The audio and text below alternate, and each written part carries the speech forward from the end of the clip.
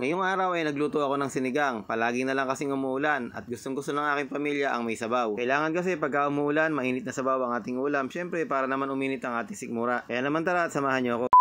Hey, what's up guys mga kaibigan? Ito nga at nagpe-prepare na tayo ng ating lulutuin ngayong araw na to. Isang pirasong labanos lang yung hinihiwa ko na yan at hinihiwa ko nga ng ganyan lang kaninipis. Tapos ito naman ay 10 pirasong sitaw lang din. Yung 10 pirasong sitaw naman kasi ay marami na pag nilagay natin sa ating sinigang. O kung ano lang yung available na gulay dyan sa meron kayo, eh pwede na yun. At kung napanood nyo ng mga nakaraang araw, ay nagluto tayo ng dinakdakan. Ito pala yung dila ng baboy na nasa maskira ng baboy. Hindi ko siya isinama pero nilaga ko lang din siya. At ngayon nga ay naisipan kong idagdag dito sa ating lulutuin ngayon. Siyempre nga kailangan tayo maging praktikal. Kaya naman ito nga at ilalagay na nga natin kung ano yung meron tayo sa freezer. Malaking bagay din yung mapagsama-sama natin yung mga kakonti at nagiging marami nga. Kaya naman minsan pag alam kong sosobra sa aming pamilya ay tinatabi ko na lang muna sa rep. Dahil darating nga yung oras na mangangailangan ka at may mabubunot ka sa inyong rep. Pagka binuksan mo, makikita mo pa, wow, meron pala akong natirang ganito ganito dito. Eh di malaking bagay nga, di ba? At ayan nga, naghiwa na rin tayo ng kamatis at saka itong ang mga maliliit na sibuyas. Ito na lang kasi yung natitira kong mga stock ng sibuyas at naubos na nga yung iba pa. Masarap din naman yan kahit ganyan kaliliit, mas mainam pa nga yan at malasa. Gagamit din pala tayo dito ng gabi at saka ng kangkong. Hindi ko na nga lang naipakita sa inyo kanina.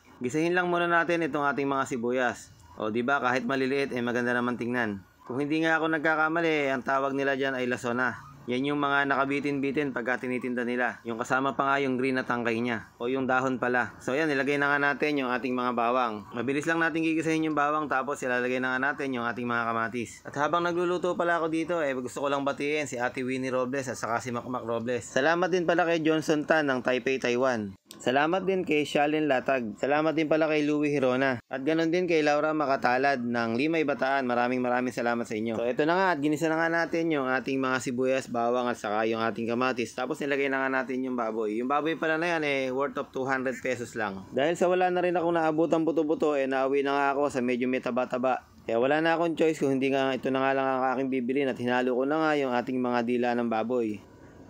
Napalambot ko na rin yung dila ng baboy kaya nga ito sinama ko na nga lang dito sa ating ginigisa. Mas okay kung medyo pagtatagalin natin yung ating pagigisa dito para nga maglasa talaga yung mga kamatis, sibuyas sa kabawang tapos lalagyan natin ng konting patis. Mga dalawa o tatlong kutsarang patis lang muna para nga lumasa na agad dito sa mga karne. Kailangan kasi mapakapit na natin dito yung lasa para nga mamaya pag sinabawan natin eh okay na yung lasa niya. Hindi pala tayo gagamit ng paminta rito. Mas okay sa akin kapag walang paminta ang sinigang. Pero kung gusto nyo naman, okay lang. Okay lang naman lagyan. Wala namang masama. At para nga ma-achieve natin yung malapot na sabaw ng ating sinigang, lalagay na nga natin dito yung mga gabi. Kasi nga, kailangan pag lumambot yung gabi, lumambot yung baboy, sabay-sabay sila para nga lumapot yung sabaw. After ng mga 30 minutes sa pagpapakulo, eh chinek ko na nga yung gabi. Kung mapapansin mo, eh nadurog na nga ng ating tinidor. Nangangahulugan na malambot na rin yung ating karne ng baboy. Pero hindi natin dudurugin lahat ng gabi para nga meron tayong makain mamaya pag hinain na natin. At nilagay na nga rin natin yung mga labanos at saka yung mga sitaw. Isama na nga rin pala natin yung mga siling haba. Para pag lumambot yung mga sitaw at labanos natin, kasabay na silang lalambot. Bali nagdagdag pa pala ako ng konting sabaw kasi parang nabibitinan ako sa sabaw. Tapos instant pansigang na lang ang ginamit kong pampaasim dito. Bali ang flavor pala nito ay sinigang sa miso. Ganito lang ang itsura ng packaging niya. Alam nyo naman siguro kung sino pa ang gumawa ng produkto na to. Pero kung pagbibigyan niya tayo, eh baka naman. At para nga makompleto natin yung alat ng ating sinigang, eh dinagdagan ko pa ito ng patis. At ngayon naman, ilalagay na nga natin yung mga kangkong. Dahil sa malambot naman na lahat ng gulay, nilagay ko na nga yung pampaasim, kahuli-hulihan nga natin nilalagay yung kangkong. O di ba nakita mo naman, aakitin ka talaga pag ganito ang ulam at pag malakas yung ulan tapos sasabihin mo, kakain na. Nako, dali-dali pa silang nagtatakbuhan kasi nga ang sarap-sarap ng ulam. O di ba nga, pag nag-request yung pamilya natin, hindi natin hinahayaan na hindi man lang natin mag-rant yung kanilang mga wish na ulam. At kung naririnig nyo nga sa aking background, eh, ang lakas-lakas ng ulan habang nagbo-voice over ako. Kaya naman ito na, at tatakamin ko muna kayo. Uunahin ko na munang kainin yung taba. Pero wag kayong mag-alala, minsan-minsan lang to at hindi naman araw-araw. Siyempre, mas piliin pa rin natin ang kumain ng isda at ng gulay para nga humaba ang ating buhay. Aanin mo nga yung masarap na pagkain kung kinabukasan naman eh andyan na nga yung susundo sa'yo. Tama na nga yung daldal at maraming maraming salamat sa lahat ng nanood at sumuporta. I love you all.